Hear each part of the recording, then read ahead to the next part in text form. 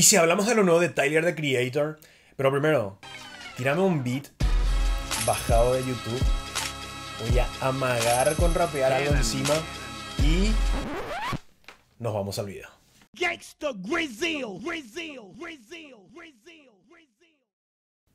Buenas, me presento, soy Villa Delgado y lo que va a pasar ahora es que les voy a hablar unos cuantos minutos de Call Me If You Get Lost, el séptimo álbum de estudio del rapero, productor, director, personalidad, ícono de moda, creador, Tyler the Creator. Este vendría a ser el sucesor del universalmente aclamado Igor, de hecho fue mi álbum favorito del 2019. Pero a pesar de eso, muy adentro mío, mi expectativa por este álbum no te diría que estuvo tan alta que digamos. ¿Por qué? Porque me parece que después de haber sacado Flower Boy e Igor, veía como que él mismo se puso como una vara muy difícil de alcanzar. Mi expectativa real por este álbum, sinceramente, era solamente una. Que el tipo haga algo diferente. Y debo decir que en ese sentido cumplió conmigo. Este álbum se aleja bastante de sus dos laburos anteriores. En Flower Boy e Igor es como que Tyler se esmeró en tener bien cerradito el concepto, el sonido e incluso en el caso de Igor el personaje que iba a interpretar en cada uno de estos álbumes. Acá en Call Me If You Get Lost es como que no hay un concepto claro que hile a sus canciones, no hay un sonido bien definido del álbum, suena más bien a un compilado o mixtape y Tyler, si bien se hace llamar acá Tyler Baudelaire, realmente no está interpretando ningún personaje. Es el mismo man de Goblin y Wolf, pero en otro momento de su vida, mucho más maduro y consciente de lo que está rapeando. Sí, acá vuelve a rapear el amigo. Empezando todo con el track Sir Baudelaire, en el que introduce a este nuevo personaje que es alguien recheto y ya de acá te empieza a hablar sobre lo que tiene, su Rolls Royce, que se fue luego a un partido de tenis en el French Open. Menciona también su marca de ropa que es Golf Le Fleur. Es una agradable bienvenida con unos instrumentales medio yaceros de fondo. Después de este viene el verdadero inicio del álbum que es Corso, un banger boom bap tremendo que le agita hasta al más parapléjico. Este es Tyler recordándonos que todavía puede hacer temas para romperla con todo, con letras que son bien bravuconas y ostentosas. A nivel lírico, acá lo que más me gustó es cuando se vuelve meta con eso de usar la palabra bitch, solo porque suena cool nomás, y no con la intención de ofenderle a alguien. O sea, podría decir que acá tenemos como la versión semi deconstruida del Tyler de Wolf. Estas primeras canciones del álbum, en serio, todas apuntan bien para arriba. En Lemonhead el tipo sigue con esa misma onda de romper todo con un beat que retumba con unos bajos gravísimos. La temática de Cheto que se jacta por las cosas también sigue acá.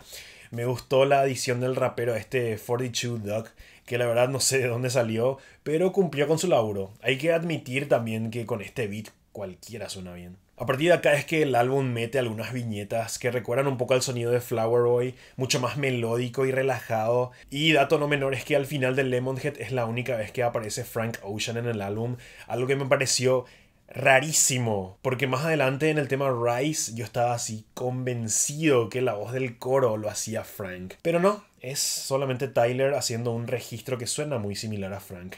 Por favor, dígame que no soy el único que sintió lo mismo en ese tema. Por cierto, Rice, otro súper temario acá que se lo dedica a sus haters mientras que él va escalando en la cima del éxito. Otro momentazo del álbum es What's Your Name con su coro sumamente memorable, la base RB que tiene está preciosamente producida tiene una onda medio noventosa que me recuerda a lo que podría haber cantado encima las Destiny's Child o Aliyah por ahí en su momento. Es una canción así, bien directa de amor hacia una chica que hace Tyler y que la acompañan otros vagos como Ty Dolla Sign y Young Boy Never Broke Again, que le dan como otro saborcito al tema. Pegadito a ese viene el que fue el primer single del álbum, Lumberjack, temazo desde la primera escucha, con una base que tiene como sample principal un track de Great Digas, un grupo de raperos de la vieja escuela de los noventas.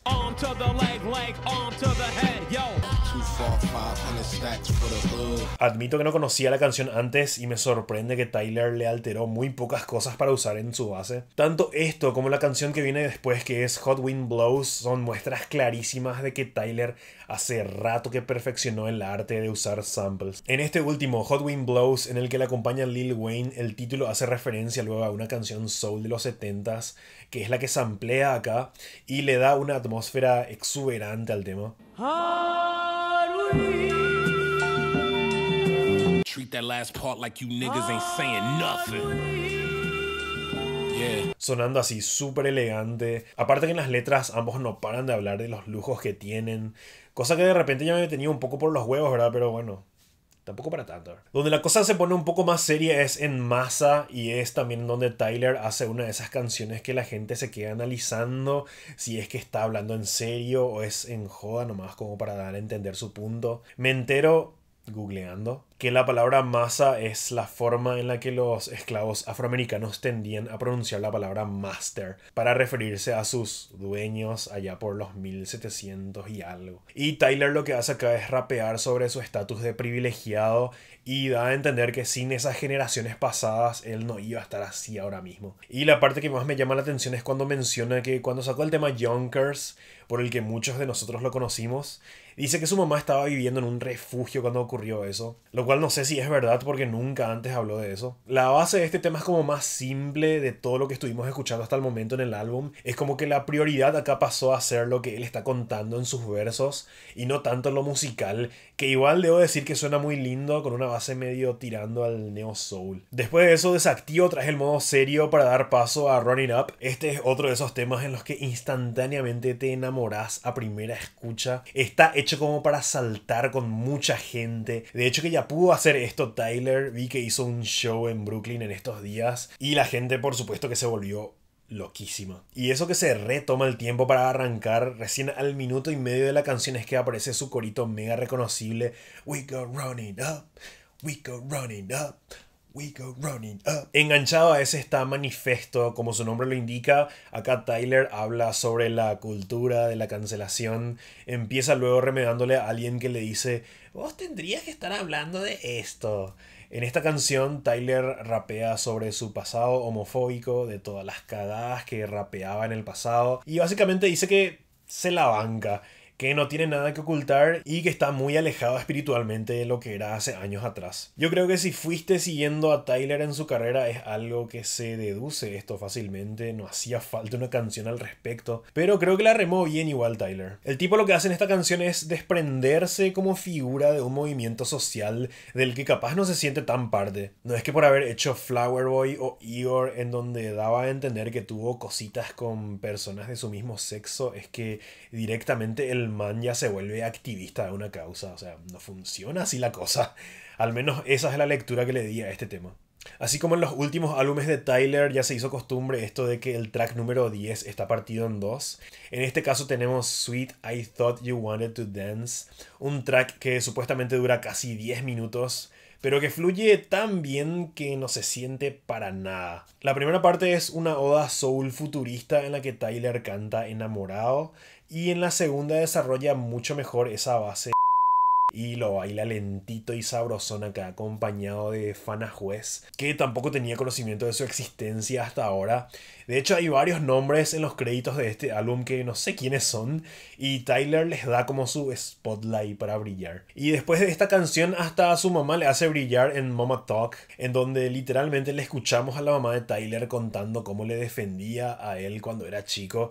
Es una viñeta genial. Lo más parecido que tenemos a Tyler de seguir alguna tendencia musical creo que se da en Juggernaut. Esta es la forma que tiene Tyler de hacer como una canción trap y suena impresionante. La producción que tiene este tema es tremenda. Encima le trajo a Farrell y a Lil Uzi Vert para rapear con él. Es un tema para hacer quilombo y sonar como gangsters, cortito y al grano. Puro fueguito. Seguido a ese viene Wilshire, en donde Tyler rapea sin parar durante más de 8 minutos sobre un loop bien chill y minimalista. O sea, si es que eras del team que se quejó porque Igor no rapeó prácticamente, bueno, acá, para vos una barra tras otra, como si fuera un freestyle donde la temática era dar detalles sobre una supuesta relación suya que terminó bastante mal. Hasta lo último, Tyler entrega temazos en este álbum porque Safari es una muy buena despedida. En cuanto a la temática, se mantiene hasta lo último con lo cheto que es. Rescato que encontró un montón de maneras ingeniosas de hacer esto a lo largo del álbum. Mientras va haciendo esto en este tema, el sample que usa de base es súper Kanye West de la época de Late Registration por toda tu cara. Una gozadera como lo fue todo el álbum, la verdad. No puedo no mencionar al coprotagonista de este álbum que fue DJ Drama, una figura clave del ambiente hip hopero que se la pasa arengando y haciendo adlibs durante todo el álbum. Solo hay algunas partes donde no aparece. Al principio me parecía medio molestoso, pero después pillé que forma parte de la onda que le quiso dar Tyler al álbum,